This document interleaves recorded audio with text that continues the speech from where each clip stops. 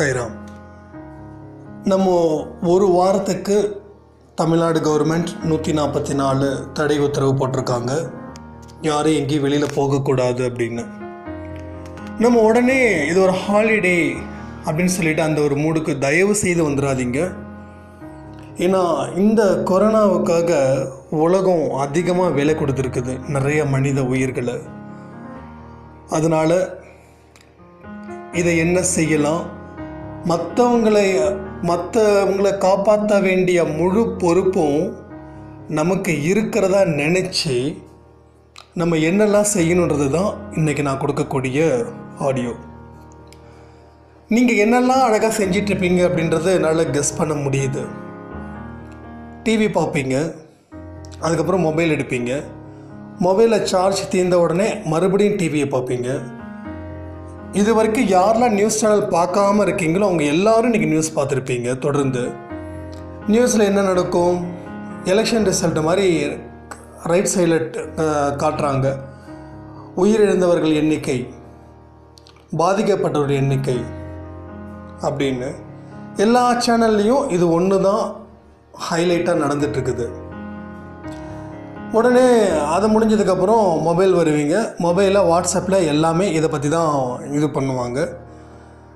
நமக்கு படிக்கிறோமோ படிக்கலையோ அது இன்னும் பல பேருக்கு ஷேர் பண்ணிடுறோம். ஏதாவது ஷேர் பண்ணி நம்மளும் கன்ஃபியூஷன் ஆகி அவங்களையும் கன்ஃபியூஸ் பண்ணி நம்மளும் பயந்து அவங்களையும் பயந்து நம்மளையும் பீதி அடைஞ்சு அவங்களையும் பீதி அடைய வச்சுட்டு இது மாதிரி வேலைகள் தான் பண்ணிகிட்ருக்கோம் இப்படி பண்ணுறதால இப்படி பார்க்குறதால ஏதாவது ஸ்டாப் ஆச்சா? இல்லை. அப்புறம் எப்படி ஸ்டாப் ஆகும்? ஸ்டாப் ஆகாத ஒரு விஷயத்தை ஸ்டாப் பண்ணணுன்னா என்ன செய்யணும்? ஸ்பிரிச்சுவலில் அதிகம் பண்ணணும். அதுதானே முறை? அதுதானே நடைமுறை? அதுக்கு உண்டான வழிகள் தான் நம்ம இனிமே செய்யக்கூடிய ஒரு வழியாக நம்ம பார்க்கலாம். சாயப்பா கிட்ட வந்து கேளுங்க. மனுஷங்களாக இருக்க நாங்கள் இயற்கைக்கு எதிராகவும் ஒரு நல்ல சக்திக்கு விரோதமாகவும் நாங்கள் நடந்திருக்கோம். அதனால் எங்களை மன்னிச்சிடுங்க. இனிமேலாவது நாங்கள் நல்லபடியாக வாழறதுக்கு ஆசைப்படுறோம். அதுக்கு உங்களுடைய ஆசீர்வாதத்தை கொடுங்க. நாங்கள் வந்து உங்களுடைய பக்தர்கள் கிடையாது. உங்களுடைய குழந்த. நீங்கள் வந்து எங்கள் வீட்டோட அப்பா. உலகத்தில் இருக்க எல்லாருக்கும் நீங்கள் தான் அப்பாவாக இருக்கீங்க. அதனால் உங்கள் குழந்தைங்க எந்த இடத்துலையும் அழுகையோ இல்லை இது மாதிரியான இருக்கக்கூடிய டிசீஸால் அஃபெக்டோ ஆகக்கூடாது. அதனால் எங்களை நல்லபடியாக பார்த்துக்கோங்க சாயப்பா. இது மாதிரி நீங்கள் வந்து ஒரு பாசிட்டிவான ஒரு வைப்ரேஷனில் நீங்கள் போய் அவர்கிட்ட கேளுங்க. காலையில் கேளுங்க மத்தியானம் கேளுங்க ஈவினிங் கேளுங்க நைட்டு கேளுங்க. இது மாதிரி ஒரு நல்ல ஒரு பாசிட்டிவாக நல்ல ஒரு தெளிவாக மனசில் எந்த ஒரு குழப்பமும் இல்லாமல் மனசில் எந்த பயமும் இல்லாமல் கேளுங்க. ஸ்டார்டிங்கில் பயம் வர்றது நேச்சுரல் ஏன்னா நம்மளுடைய ஒவ்வொரு ஹார்ட் பீட்டும் துடிச்சிக்கிட்டு தான் இருக்கும். பயங்கரமாக துடிச்சிட்டு தான் இருக்கும். ஏன்னா உயிர் பலி இல்லையா? அதனால். நடந்து முடிஞ்சிட்டா பிரச்சனை இல்லை. நடந்துக்கிட்டு இருக்குது. ஸோ நடந்துக்கிட்டு இருக்க இருக்க நமக்கு அந்த அந்த ஒரு படபடப்பு இருந்துட்டு தான் இருக்கும். அப்போது இது நடக்க நடக்க நம்ம ஸ்பிரிச்சுவலில் இருக்கிற பவரையும் கொண்டு வந்துக்கிட்டே இருக்கணும். இது ஒன்று தான் பெஸ்ட்டு சொல்யூஷன் இந்த டிசீஸை ஸ்டாப் பண்ணுறதுக்கும் உயிரிழப்புகளை குறைக்கிறதுக்கும் நம்ம பாதுகாப்பாக இருக்கிறதுக்கும். எனக்கு ஒன்றும் வராது அப்படின்றத தூக்கி எறியுங்க. நமக்கு வந்தாலும் மற்றவங்களுக்கு வரக்கூடாதுன்றதை நினைங்க. அதுதான் அப்பாவோட குழந்தைங்களுக்கு உண்டான முதல் படி. அப்போது நமக்கும் வந்தால் மற்றவங்களுக்கு வரும். அப்போ நமக்கு வரக்கூடாது. நமக்கு என்னென்னலாம் மற்றவங்களுக்காக நமக்கு வரக்கூடாதுன்ற ஒரு எண்ணம் நமக்கு இருந்துச்சுன்னா சூப்பர் அது மட்டும் இல்லாமல் எல்லாருக்குமே காலையிலேருந்து நைட்டு வரைக்கும் ஃப்ரீயாக தான் இருக்கிறோம். உட்காந்து சாப்பிட்டு தூங்குறது நம்ம வேலை கிடையாது. இது மாதிரியான ப்ரேயர்ஸை நீங்களாக ஒரு டைமை ஃபிக்ஸ் பண்ணி ப்ரே பண்ணுங்க. மார்னிங் ஆரத்தி எடுங்க ஆஃப்டர்நூன் எடுங்க ஈவினிங் எடுங்க நைட் எடுங்க நாலு ஆரத்தி எக்ஸலண்ட்டாக எடுங்க. கொரோனாவை அடித்து துரத்திடலாம். அது எப்படிங்க துரத்த முடியும்? இழப்பை கம்மி பண்ணலாம். இயற்கை வந்து பொல்லாத ஒரு விஷயம். இயற்கை கொந்தளிச்சிருக்குது. அதை கொந்தளிக்கணும்னா நம்ம இனிமே இயற்கைக்கு எதிராக வாழக்கூடாது. இயற்கைக்கு எதிராக மரம் வந்து வெட்டக்கூடாது நதி இது பண்ணக்கூடாது இல்லை. ஜென்ரலாக எல்லா சைடும் இருக்குது. முதல்ல இயற்கைனா என்ன தெரிஞ்சுக்கோங்க. நம்ம உள்ளுக்குள்ளே இருக்கிறதும் இயற்கை தான். நம்மளுடைய ஒவ்வொரு எண்ணங்களும் இயற்கைக்கு எதிராக வாழ்கிறோமா இயற்கையோடு ஒத்து வாழ்கிறோமா மனுஷங்க மேலே பொறாமப்படுறது இயற்கைக்கு எதிராக வாழ்கிறது தான் அதை புரிஞ்சுக்கோங்க. தான் மட்டும் வாழணுன்றது இயற்கைக்கு எதிராக வாடுறது தான் ஆக ஒரே ஒரு விஷயம் கடவுளுடைய குழந்தையாக வாழணும். அதுக்கு தகுந்த என்னென்ன விஷயங்கள்லாம் இருக்குதோ அதை நம்ம செய்யணும். தொடர்ந்து மெடிடேஷன் பண்ணுங்கள் சச்சிரதம் படிங்க. ஸ்பிரிச்சுவல் பவரை வளர்த்துக்கிட்டே இருந்தீங்கன்னா உங்கள் ஊரில் ஒவ்வொருத்தவங்களுக்கும் அந்த இழப்புன்றது கம்மியாகும் கொஞ்ச நாளில் ஓடிடும். இது புனித ஆத்மாக்கள் பிறந்த மண் நம்ம இந்தியா. இங்கே தான் நம்ம சாயப்பாவும் பிறந்தார் ராகவேந்திர சுவாமிகள் பிறந்தாங்க ராமலிங்க அடிகளார் பிறந்தாங்க விவேகானந்தர் பிறந்தாங்க ராமகிருஷ்ண பரமஹம்சர் பிறந்தார் இது மாதிரி நிறைய கடவுள் அவதரித்த இடம் இங்கே தான் இந்த மண் ரொம்ப தூய்மையான மண்ணாக இருந்துச்சு. எப்பயும் கொஞ்சம் கொஞ்சம் நல்ல உள்ளங்கள் இருக்கிறதால இருந்துட்டு இருக்குது இப்பயும் ஒன்று கெட்டு போயிடல. எதுவும் கையை மீறி போகலை. கையை மீறி போகாத அளவுக்கு நம்ம தான் பார்த்துக்கணும். அலட்சியம் வேண்டாம். எனக்கு ஒன்றும் ஆகாது. என் நல்ல மனசுக்கு ஒன்றும் ஆகாதுன்னு நினச்சிக்கிட்டு கங்கணம் கட்டிட்டு இருக்க வேண்டாம். நீங்கள் நல்ல தெளிவான மனநிலையில் இருக்கணும் ஆரோக்கியமாக இருக்கணும் எல்லாத்தையும் தாண்டி ஸ்பிரிச்சுவலில் நீங்கள் அளவுக்கு அதிகமாக இருக்கணும். இதை நம்ம செஞ்சாவே போதும். இது மட்டும் இல்லை எதுவும் நம்மளை ஒன்றும் செய்யாது. பயம் வேண்டாம். அப்பா நம்ம கூட இருக்காருன்றதை நம்புறீங்க இல்லையா? இப்போ பயம் வேண்டாம். ஒவ்வொரு நிமிஷத்தையும் அப்பா கூட இருந்தால் செலவு பண்ணுங்க. ஒரு நேச்சுரலாக லைட்டான ஃபீவர் தலைவலி வர்றது நேச்சுரல் அதுக்கு பயப்பட வேண்டாம். தொடர்ந்து இருந்துச்சுன்னா மட்டும் என்னன்றதை பார்த்துக்கலாம். ஸோ உடம்புக்கு என்னென்ன தேவைகள் இருக்குதோ எது இதெல்லாம் ஹெல்த்தியாக இருக்குதோ எது இதெல்லாம் இம்யூனிட்டி பவர் அதிகம் பண்ணுதோ அது மாதிரியான விஷயங்களை வந்து பார்த்து பார்த்து சாப்பிடுங்க. நம்மளுடைய உணவு பழக்கத்தையும் சரி வெளி உலக பழக்க வழக்கத்தையும் சரி எல்லாத்தையும் மாற்றி அமைக்கக்கூடிய ஒரு காலகட்டத்தில் இருக்கும். நான் ஆரம்பத்தில் சொல்லிட்டு இருந்தேன் டூ தௌசண்ட் டுவெண்ட்டி பெஸ்ட்டாக இருக்கும் அப்படின்னு. சத்தியமாக சொல்கிறேன் இப்பயும் சொல்கிறேன் பெஸ்ட்டாக தான் இருக்கும். ஒரு கெட்டது நடக்குதுன்னா ஆயிரம் நல்லது நடக்கும். அதுதான் நம்ம சாயப்பா. அதுதான் உண்மையான எல்லா கடவுளும் செய்யக்கூடிய ஒரு விஷயம்.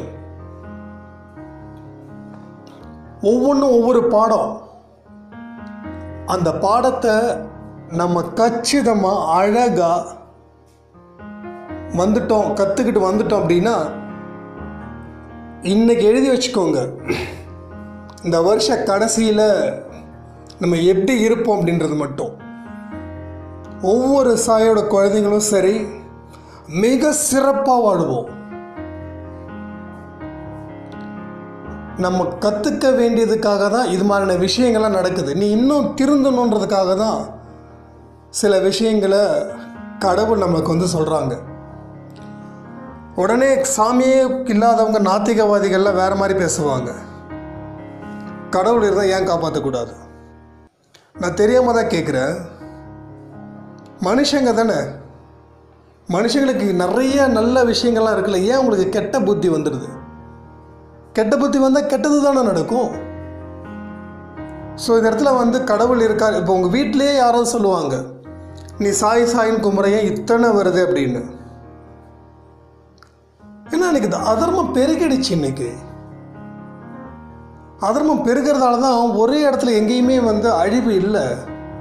அங்கங்கே காட்டுது இங்கே பாரு இப்படிலாம் நடந்துட்டுருக்குது பார்த்து இருந்துக்கோன்னு நம்ம என்ன செய்கிறோம் இந்த டைமில் மட்டும் இதை பற்றி பேசுகிறோம் இன்னும் ஓடிடும். இன்னும் ஒன்றும் ஃபீல் பண்ண வேண்டியதே இல்லை. இன்னும் கொஞ்ச நாள் எல்லாம் ஓடி போயிடும்.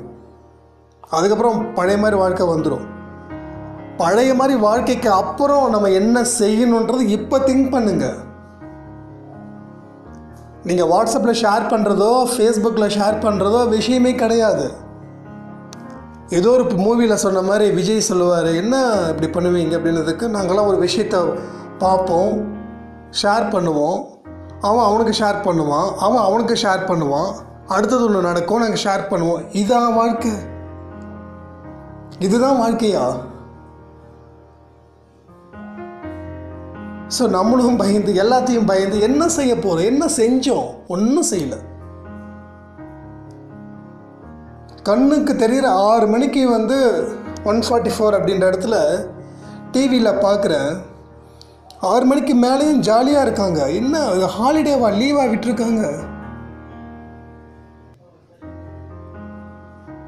ஸோ இவ்வளோ விஷயங்கள் நம்மளை சுற்றி நடக்கு நடந்துக்கிட்டே தான் இருக்குது. நம்ம மறந்துடுறோம். மறதி ஜாஸ்தியாக போயிடுச்சு நமக்கு.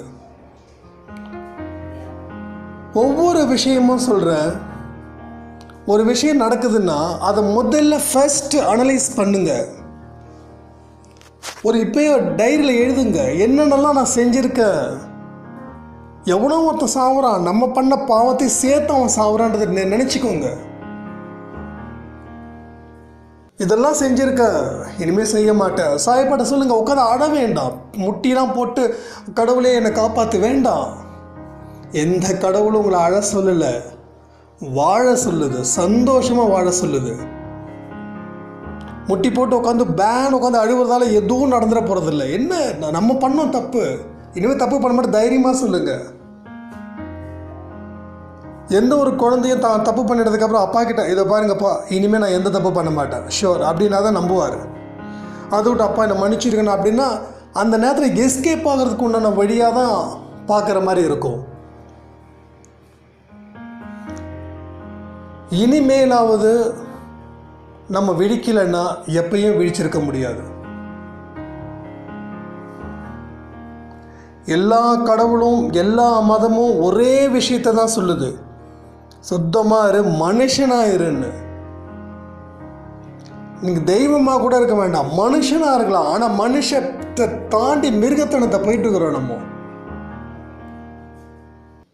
உடனே நாங்கள்லாம் போகல அப்படின்னு சொல்ல வேண்டாம். எல்லா ஆசையிலும் இந்த மிருகத்தனம் இருக்குது. ஒருத்தன் வாழ்ந்தான்னா அவன் வாழ்ந்துட்டானேன்னு சொல்லி பத்து பேர்கிட்ட பொருளை கிளப்பி விட்டுட்ருக்கோம் அவன் அப்படி வாழ்ந்துட்டான் இப்படி வாழ்ந்துட்டான் அவன் இப்படி சம்பாதிச்சிட்டான் அப்படி சம்பாதிச்சிட்டான் அப்படி இது வந்து மிருகத்தனம் தானே இது? அதனால் எல்லாரும் சந்தோஷமாக நினச்சிக்கோங்க. எப்படி வந்து மற்றவங்க ஜெயிக்கிறாங்களோ நீங்கள் ஜெயிச்ச சந்தோஷத்தை கொடுங்க அங்கே நியூஸ் பார்க்குறீங்களா பாருங்கள் காலையில் ஒரு நியூஸ் பாருங்கள் நைட் ஒரு நியூஸ் பாருங்கள் அதுவே நினச்சி நினச்சி நினச்சிங்கன்னா அது ஃபுல்லாக தூக்கம் வராமல் கெடுக்க தான் செய்யும்.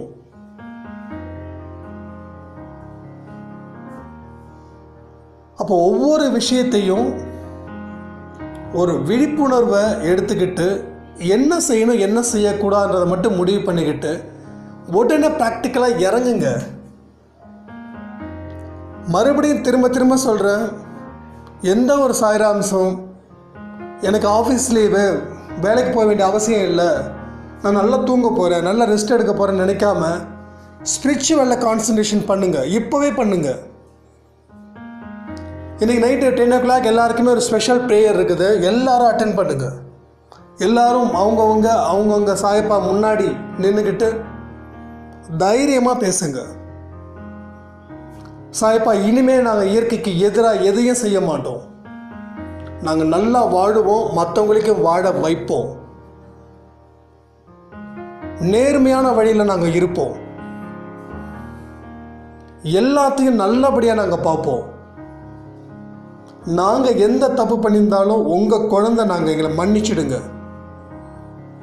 இனிமேல் எந்த ஒரு இடத்துல எந்த ஒரு வழியும் வரக்கூடாது எந்த ஒரு இழப்பும் இருக்கக்கூடாது. யார் யாரெல்லாம் பலகீனத்தில் இந்த நோயில் இருக்காங்களோ அவங்களை எல்லாத்தையும் பலத்தையும் தெம்பையும் நீங்கள் அமைச்சு கொடுங்க சாயப்பா. அப்படின்னு சொல்லி சாயப்பா கிட்ட வந்து ஒரு டம்ளர் தண்ணியை வச்சு இதெல்லாம் சொல்லிட்டு வீட்டில் உதி இருந்துச்சுன்னா அந்த உதிய தண்ணியில் மிக்ஸ் பண்ணி குடிச்சிட்டு ஜம்முன்னு படுத்து தூங்குங்க.